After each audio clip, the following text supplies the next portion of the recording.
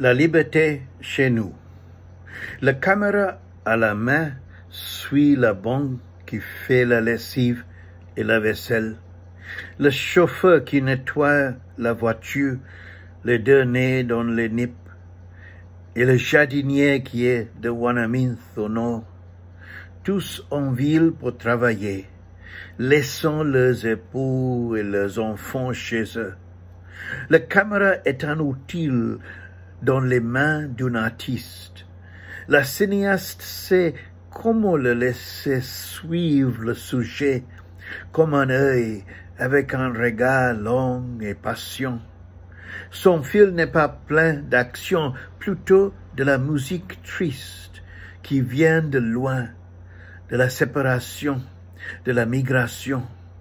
Et la caméra devient notre œil, et les images entrent dans notre âme, et nous sommes touchés et inquiets. Que faire si les bonnes peuvent retourner chez elles? Que faire avec le système qui définit notre histoire?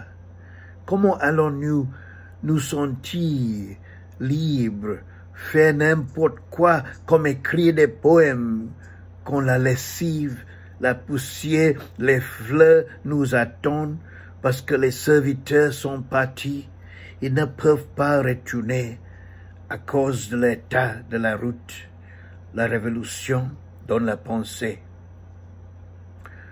Pour la voix du pauvre, Haïti hommage, Indran Amit La liberté chez nous, écrit après, voir le, grand film uh, de Cassandra Trasiboul, Exiled Inland. Merci.